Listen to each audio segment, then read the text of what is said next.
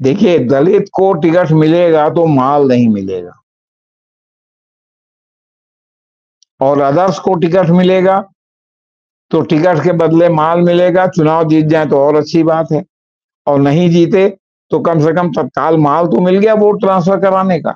अब ये आरोप है बहन जी को अब इसमें कितना सरवाइव करेंगे ये तो दलित कैडर ही अच्छी तरह से बताएगा और जानता होगा आपसे बता। उत्तर प्रदेश में बटे, बटेगा कि कटेगा?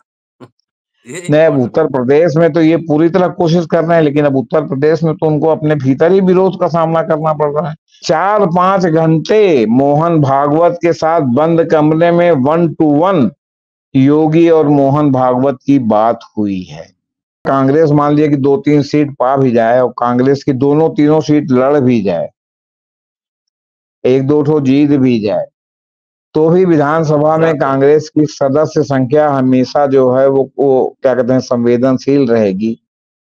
हम्म। और हमेशा उसमें टूट का खतरा बना रहेगा। फूलपुर संसदीय क्षेत्र से बसपा के भी एमपी जीते हैं चुनाव। कई सीटों पर बसपा चुनाव विधानसभा भी जीतती थी लेकिन अब अब की बार उन्होंने वहाँ से एक छत्री कैंडिडेट को टिकट वो टिकट दे दिया है। अब वो कितने बसपाई हैं ये शोध का विषय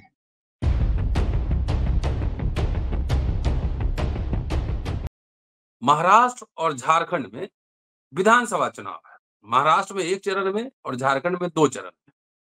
सीटों को बट, के बंटवारे को लेकर कुछ उठा पटक खटपट दिखाई रहा था, लेकिन नेताओं के सूझबूझ के कारण वो खटपट शायद सुलझा लिया गया। वायनाड में चुनाव है लोकसभा का। प्रियंका गांधी उम्मीदवार है, अब तक वो प्रचार कर रही थी, लेकिन इस बार वो खुद अपने लिए प्रचार करेंगे। लेकिन एक दिलचस्प मुकाबला उत्तर प्रदेश के उपचुनाव में।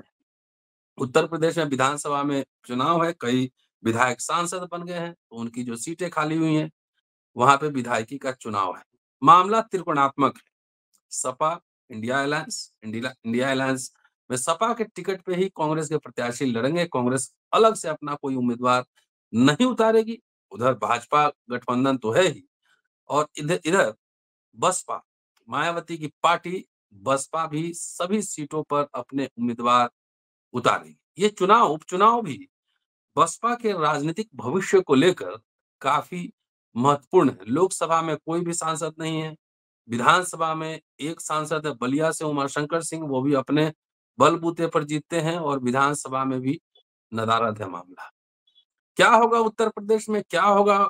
बसपा का भविष्य किसी गठबंधन में नहीं है। इसी मसले पर चर्चा होगी और साथ साथ सेबी के चेयरमैन, जो पार्लियामेंट्री पब्लिक अफेयर्स कमेटी है, वहाँ उपस्थित नहीं हुई। पार्लियामेंट के अंदर भी झगड़ा कुछ दिन पहले हुआ था, मारपीट हुआ था। सोचिए कि देश संसदीय जो मर्यादा है, वो गरिमा कहाँ जा रही है? दोस्तों, रतनलाल बोल रहा हूँ और आप देख रहे हैं अंबेडकर नामा। जेपी सिंह साहब है, वरिष्ठ पत्रकार है, इनके पास चलते हैं, लगातार अंबेडकर नामा पर अब सुन रहे हैं। तो जेपी साहब से जरा ये खबरों की एनालिसिस सुनते हैं। स्वागत है सर। जी सर। दे, देखिए सर पहली बार उत्तर प्रदेश के उपचुनाव में बहन मायावती पूरे दमखम के साथ चुनाव मैदान में उतर रही और ये बसपा के सर्वाइवल के लिए बहुत ही ज़रूरी है इस चुनाव में लड़ना। क्यों? क्योंकि बसपा का वोट बैंक यहाँ तक कि बहन जी का सजातीय वोट बैंक भी खसक रहा है और काफ़ी तो सेंध पश्चिमी उत्तर प्रदेश में जहाँ से बहन जी आती हैं, चंद्रशेखर रावण ने लगा दिया है। और बाकी जो शेष उत्तर प्रदेश है, उसमें भी जो है पोजीशन क्योंकि लगातार इनका जन को समर्थन सिकुड़ रहा है। आपके विधानसभा चुनाव में तो ये जो नौ सीटें हैं, इसमें से एक भी सीट पर बीएसपी नहीं जीती थी। इस बार नौ सीट पर वो कैंडिडेट खड़ा कर रही हैं और एक प्रकार वो बीएसपी को पुनः खड़ा करने की कोशिश कर रही है। मान्यवर काशी राम ने जिस तरह बीएसपी को खड़ा किया था और बीएसपी एक बार उत्तर प्रदेश में सत्ता के शीर्ष पर अपने अकेले दम पर बीएसपी ने बहुमत पाया था भले थोड़ा डेविएशन हुआ हो बहुजन समाज के बजाय सर्व समाज का उन्होंने आह्वान किया हो लेकिन कालांतर में हाँ और कालांतर में जो है वो सब चीज़ें ध्वस्त हो गई। अब ये पर्यवेक्षक भी कह रहे हैं, दलित चिंतक भी कह रहे हैं कि क्या बहन जी मान्यवर काशी राम जैसा चमत्कार दोहरा पाएँगी? बीएसपी को फिर से खड़ा कर पाएँगी? क्यों? क्योंकि नौ सीट में अब यहाँ भी दो बिंदु हैं। एक बिंदु ये है कि जो नौ सीट में इन्होंने खड़ा किया है तो अपना जो बिखरता हुआ कैडर है कि जो नहीं चुनाव लड़ती तो पूरी तरह बिखर जाता है उसमें बांधने की कोशिश कर रहे हैं कि कितने लोग बंधेंगे दूसरा एंगल है कि इससे भले बसपा को ये इंडिया गठबंधन को नुकसान हो या भले बीजेपी को नुकसान हो ये तो जब चुनाव परिणाम आएगा तब पता चलेगा कि वोट कटवा में किसका वोट ज़्यादा कटा हम्म। तीसरा जो नौ सीटों पर आप चुनाव देख रहे हैं इन सीटों पर कहीं न कहीं नियत का भी जो है खोट नज़र आ रहा है। क्यों? क्योंकि बजाय जो है नौ सीटों पर अगर आप दलित वोटों का कंसोलिडेशन चाहती हैं तो आपको नौ सीटों पर हारते या जीतते आपको दलित कैंडिडेट ही खड़ा करना था, ताकि फिर से दलित वोट, जैसे एक बार उत्तर प्रदेश में बहन जी ने सर्वाइवल के पहले जो चुनाव लड़ा था, उसमें जो है वो क्या कहते हैं, उन्होंने हर जनरल सीट से भी जो है दलित कैंडिडेट दिए थे। और उसके बाद ही मुलायम सिंह से समझौता हुआ था और वो सत्ता के शीर्ष पर चढ़ती चली गई। लेकिन अब फिर जब स्क्वायर वन हो गया है, पुनः पार्टी पुराने स्थान पर पहुँच गई है तो सर्वाइवल के लिए ज़रूरी था कि आप नौ सीट पर चुनाव लड़ती तो आप सब जगह दलित, एकता के लिए दलितों में ही जो बहुत अलग अलग लोग हैं, सबको जो है जगह जगह से टिकट देती। ताकि फिर से होता कि नहीं बहन जी, ये पुरानी पार्टी पर लौट रही है। अब आप चाहें कि आपको सफलता भी तुरंत मिले, आपका दलित वोट भी कंसोलिडेट हो और आप वोट कटवा ना कही जाए तो उसमें आपको अपने दलित वोटों को कंसंट्रेट करने की कोशिश करनी पड़ेगी, वरना आप रिपब्लिकन पार्टी ऑफ़ इंडिया जो एक समय पूरे देश भर में दलितों की पार्टी एक्सक्लूसिव कही जाती थी और आज की डेट में बिल्कुल महाराष्ट्र में एक दो पॉकेट में सिकुड़ गई है समाज प्राय हो गई। जिस तरह प्रकाश अंबेडकर की पार्टी बिल्कुल जो है लगभग लगभग समाप्ति हो गई है आपसे बता। हम्म। तो आप उस तरह जो है न बने उसके लिए ज़रूरी है कि आपको कठोर निर्णय लेना चाहिए। इसलिए मुझे तो बहुत शक है कि आप जो है सरवाइव कर पाएँगे आपको जो है वोट कटवा की ही भूमिका। आप जैसे देखिए फूलपुर क्षेत्र जो संसदीय क्षेत्र है उसमें फाफा मऊ विधानसभा है जो पहले झूसी विधानसभा थी। फाफा हम्म। मऊ ये जो फूलपुर संसदीय क्षेत्र से बसपा के भी एमपी जीते हैं चुनाव। कई सीटों पर बसपा चुनाव विधानसभा भी जीतती थी लेकिन अब अब की बार उन्होंने वहाँ से एक छत्री कैंडिडेट को टिकट वो टिकट दे दिया है। अब वो कितने बसपाई हैं ये शोध का विषय है। वो पेट्रोल पंपों के मालिक हैं उनके पास पैसा है। पैसे के दम पर उन्होंने बसपा का टिकट हासिल किया है। कैडर का समर्थन है कि नहीं है, ये अब जब चुनाव आएगा तब पता चलेगा कि उनको कैडर ने कितना समर्थन दिया है। वैसे भी फूलपुर क्षेत्र, ठाकुर बहुल क्षेत्र नहीं है, वो ब्राह्मण, मुसलमान, पटेल, यादव डोमिनेटेड है और उसके बाद जो है वो क्या कहते हैं, आपके दलित कम्युनिटी तो उतना ही लगभग आसपास के दलित कम्युनिटी भी है, लेकिन अब सवाल है कि आपने उनको वोट दे दिया तो कितना वो कंसोलिडेट कर पाएँगे, ये पता फिर कई जगह इन्होंने मुसलमानों को भी चुनाव में उतारा है ये तो एक बात हो गई हम्म। दूसरी बात है ये हो गई कि गोदी मीडिया प्रिंट मीडिया और तमाम मीडिया में लगातार ये चल रहा था कि तेजस्वी यादव नाराज़ हैं झारखंड में टिकट बंटवारे को लेके बाद में तेजस्वी यादव और सोरेन साहब की फ़ोटो लहराती हुई छपी हुआ कि सब समझौता हो गया और तेजस्वी यादव सात सीटों पर लड़ेंगे और तेजस्वी यादव ने कहा भी कि हमारा गठबंधन जीतेगा और सोरेन फिर से मुख्यमंत्री बनेंगे। कहा जाता है कि इसमें लालू प्रसाद यादव ने सार्थक हस्तक्षेप किया और गठबंधन को टूटने से बचाया वरना तेजस्वी यादव ने पब्लिकली कहा कि वो टिकट बंटवारे से खुश नहीं है। उनके पार्टी की उपेक्षा की। तो बहरहाल इंडिया गठबंधन तो इस बेल्ट में बच गया। हम्म। दूसरा महाराष्ट्र महाराष्ट्र में लगातार आया कि बहुत उठम पटक चल रही है और यहाँ तक खबरें प्लांट की गई कि उद्धव ठाकरे की मुलाकात हुई फडनवीस से और संजय हम्म। राउत उद्धव ठाकरे के दूध बन करके मिले जो है वो अमित शाह से लेकिन ये सब बातें गलत साबित हो गई और ये तीनों में समझौता हो गया महाविकास अघाड़ी में शरद पवार कांग्रेस और उसमें सब लड़े नहीं लेकिन जो लड़ेंगे लेकिन उसके बाद जो सीटें बचेंगी उसमें और लोगों को एडजस्ट करेंगे और उसका एक एक दो दो इन लोगों को भी और मिल जाए। उसमें जो है हम्म। सपा ने अच्छा ये भी सपा का बताएँगे तो बताते हैं आपको। उस उनमें शरद पवार ने बहुत सार्थक जो है एल्डरली हस्तक्षेप किया और वहाँ का भी मामला जो है शुरू हो गया और ये लोग जो आशंका जता रहे थे कि इंडिया गठबंधन तो गया टूट जाएगा वो इंडिया गठबंधन बरकरार। अब उत्तर प्रदेश है। अखिलेश यादव को हरियाणा में नहीं मिला सीट तो उसकी नाराज़गी थी तो उन्होंने अपने तरफ़ से यूनिलेटरली जो है नौ सीटों में सात सीटों पर अपने उम्मीदवार घोषित कर दिए थे और दो सीट कांग्रेस को देते हुए बताए जा रहे थे। फिर राहुल गांधी और अखिलेश की बात हुई, और बात होने पर ये समझौता हो गया कि नहीं, दोनों मिलकर लड़ेंगे और जो आपका कांग्रेस का भी जो कैंडिडेट होगा वो वो जो है सपा के सिंबल पर लड़ेगा। अब देखिए हम्म, हम्म। एक तो यहाँ इससे कोहेशन दिखेगा। हम्म। और दूसरा जो सबसे बड़ा कारण है कि कांग्रेस के पास उत्तर प्रदेश में कई मिले एक आराधना मिश्रा प्रतापगढ़ से मिले हैं बाकी तो हमारे ख्याल से कांग्रेस का लगभग सफाया ही था विधानसभा चुनाव अब ऐसे में अगर कांग्रेस मान लिया कि दो तीन सीट पा भी जाए और कांग्रेस की दोनों तीनों सीट लड़ भी जाए एक दो ठो जीत भी जाए तो भी विधानसभा में कांग्रेस की सदस्य संख्या हमेशा जो है वो वो क्या कहते हैं संवेदनशील रहेगी। हम्म। और हमेशा उसमें टूट का खतरा बना रहेगा क्योंकि ज़्यादा लोग होते हैं तो एक निर्धारित संख्या होने के लिए बड़ी टूट करानी पड़ती है। और हम्म। अभी जो है वो आपका दो ही तीन मेंबर हो एक मेंबर हो तो कभी किसी में वाक इन वाक इन वॉकआउट रिलेशन की तरह जिसमें है कल उसमें है परसों उसमें जिसमें चाहे चला जाए राज्यसभा के चुनाव के समय पैसा पकड़ के चला जाए जो भी हो तो इस इसको बचने के लिए कि अगर वो जीत भी जाए तो कम से कम दल बदल न करने पाए इसलिए उस वो सपा के सिंबल से लड़ेंगे और एक सिंबल से जो लड़ता है चुनाव वो उस पार्टी के संविधान और उस पार्टी के आपका जो विप जारी होता है उससे बंधा होता है। अब अगर कोई सपा से कांग्रेस का भी लड़के विधानसभा में जाए भले वो कहे कांग्रेस है लेकिन जब वोट देने की बारी आएगी तो सपा में ही गिना जाए।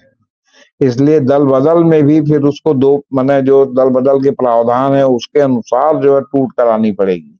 वो जो है। वो क्या कहते हैं वॉक इन वॉक आउट की तरह इधर उधर नहीं जा सकता मैंने अनुशासन से थोड़ा ज़्यादा बन जाएगा तो कांग्रेस ने ये बहुत होशियारी की कि एक दो सीट अगर पाते हैं उसमें जीतते भी तो हमेशा इस बात का डर होता कि उनका जो जीता हुआ कैंडिडेट है कल थैली शाहों की थैली के आगे दूसरे के यहाँ जाके न बैठ जाता अब हम्म। ये पंद्रह सीट बारह सीट मांग रहे थे सपा तो कांग्रेस ने कहा भाई नौ तुम लड़ो हमारे भी जो कैंडिडेट को देना चाहते हो उसको अपने ही सिंबल पर लड़ा दो और आप यहाँ महाराष्ट्र में भी जो है ज़्यादा जो है क्या कहते हैं टांग न इसलिए कि आपका स्टेक नहीं है लेकिन उसने कुछ मुस्लिम बहुत सीटों पर चार पाँच उम्मीदवार घोषित किए हैं अबू आजमी सहित। हम्म, पूरी उम्मीद है कि हाँ तो पंद्रह सीट हाँ पंद्रह सीट मांग रहे तो पूरी उम्मीद है कि उनका जो है एडजस्टमेंट हम्म। उसमें जो है क्या कहते हैं हो जाएगा। तो उत्तर प्रदेश में भी जो है मामला फंस गया है। हम्म। इस बीच में जो बहराइच कांड में जो सुप्रीम कोर्ट का चाबुक चला चला है और इससे उससे सब हो गया है हम्म। उसके साथ एक और बहुत ही बड़ा राजनीतिक डेवलपमेंट उत्तर प्रदेश में हुआ है जिससे आपका मोदी एंड शाह की जो दुकड़ी है उसके कान खड़े हो गए हैं। हड़बड़ी में शायद जो है वो केशव प्रसाद मौर्य और ब्रजेश पाठक दिल्ली गए थे मिलने के लिए। क्यों? क्योंकि चार पाँच घंटे मोहन भागवत के साथ बंद कमरे में वन टू वन योगी और मोहन भागवत की बात हुई है हम्म। और ये माना जा रहा है कि जो है वो क्या कहते हैं अब वो योगी को पूरी तरह राष्ट्रीय परिदृश्य पर प्रोजेक्ट करने का जो है वो क्या कहते हैं कि योजना चल रही है क्योंकि योगी ही इस समय सबसे हार्ड चेहरा जो है बीजेपी का कोर चेहरा दिखाई पड़ रहे हैं। अभी आपको मालूम होगा कि महाराष्ट्र के चुनाव में योगी के पोस्टर जगह जगह लग गए थे और योगी का उसमें सूत्र वाक्य लिखा था कि बटोगे तो कटोगे इसलिए हम्म, एकजुट हम्म। रहो। और उस पर ऑब्जेक्शन हुआ और उसको जो है क्या कहते हैं चुनाव आयोग के आदेश से इनको हटाना पड़ा। तो महाराष्ट्र के चुनाव में योगी और महाराष्ट्र का चुनाव है और मुख्य प्रधानमंत्री आपके जो है एकदम हरियाणा डिज़ाइन से विदेश यात्रा पर चले गए। जबकि इनको जो है आपका महाराष्ट्र में जैसे हरियाणा में इन्होंने बहुत अंतिम समय में एक दो ठो किया, बाकी सब हट गए। उस तरह का प्रचार नहीं किया।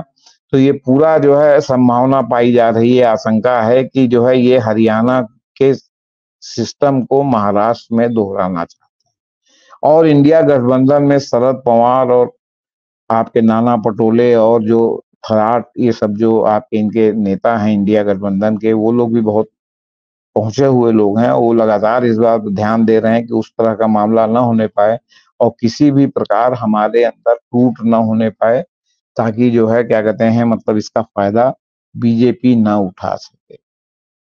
अब वहाँ कभी कहने की सिंधे और फडणवीस में वो है तो कभी कहने की वो जो है यहाँ तक खबरें आ रही हैं कि फडणवीस एंड कंपनी जो है वो सिंधे और अजीत पवार दोनों को निपटाने में लगी हुई है।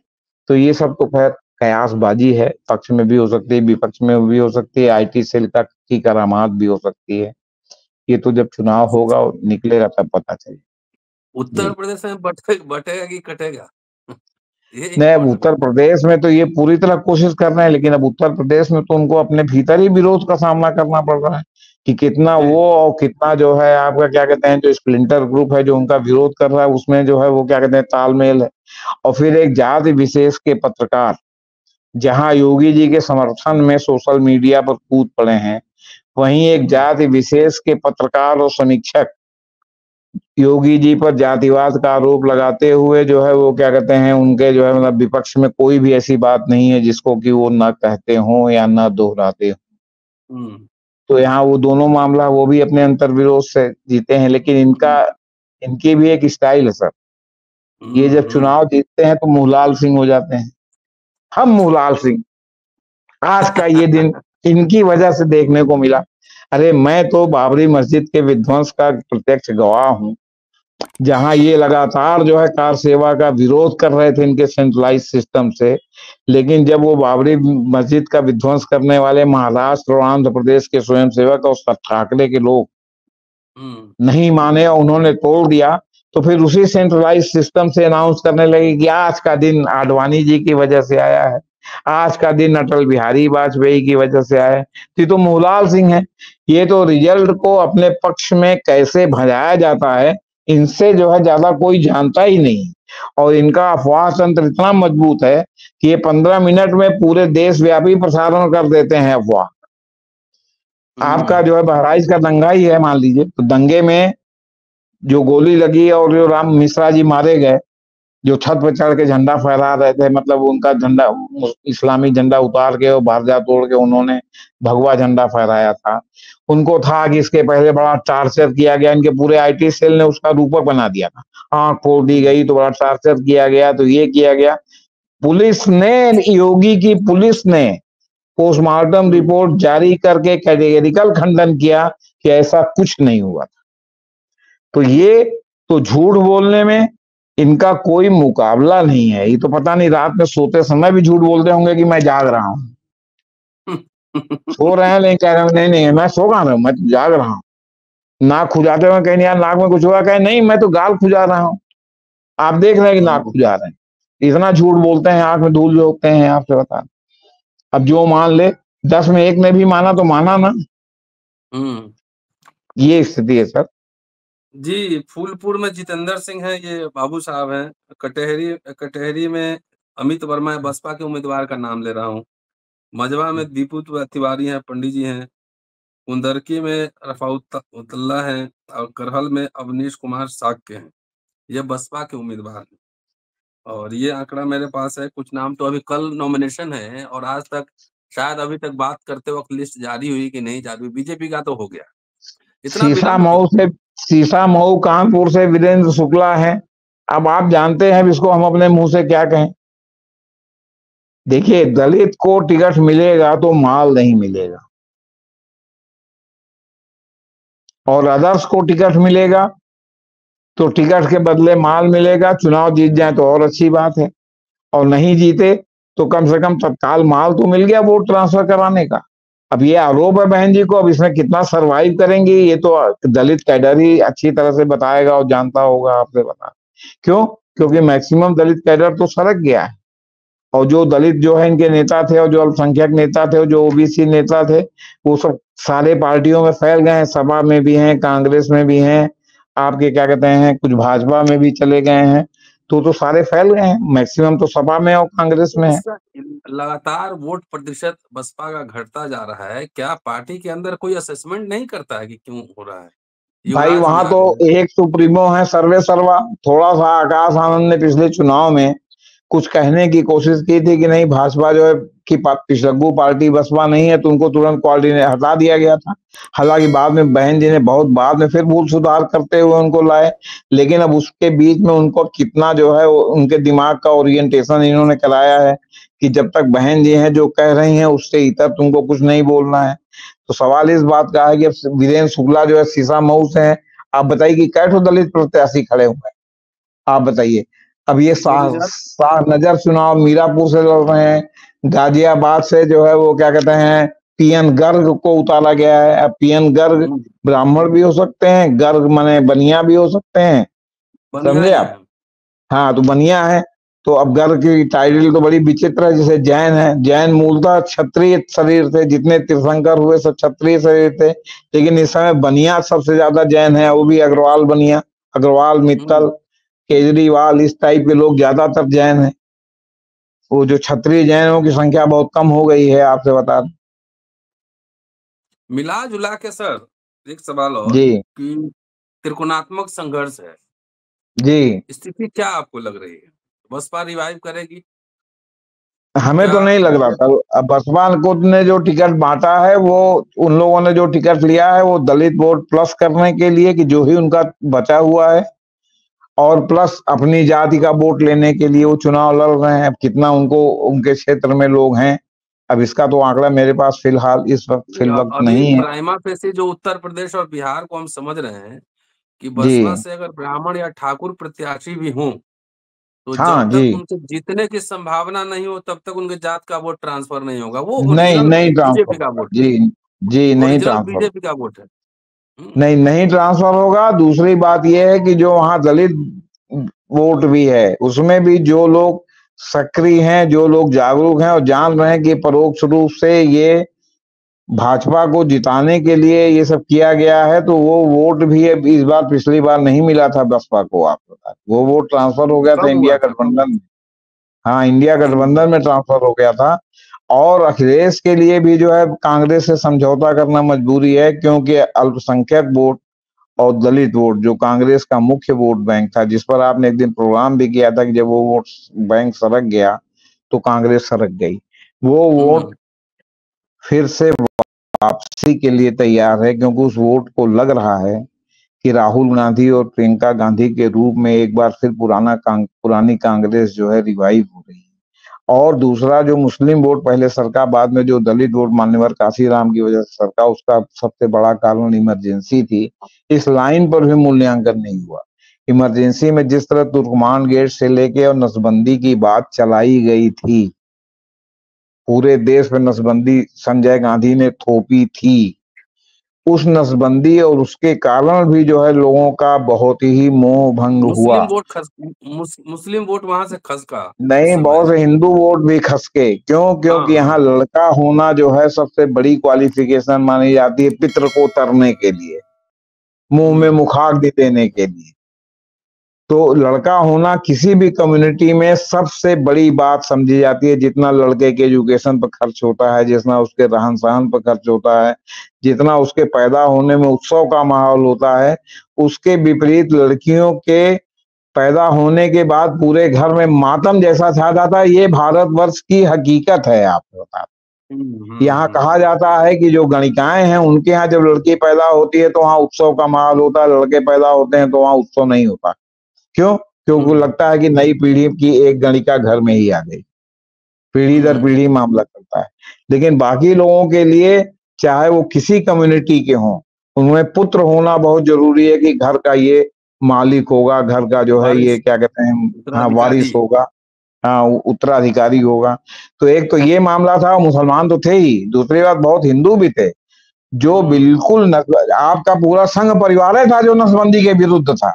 उनका था कि ज़्यादा से ज़्यादा हिंदू पैदा करो। तो अगर ज़्यादा से ज़्यादा हिंदू पैदा करो तो नसबंदी बंद करना पड़ेगा ना? हम्म। अगर नसबंदी आप करेंगे तो ज़्यादा से ज़्यादा बच्चे कहाँ से पैदा होंगे?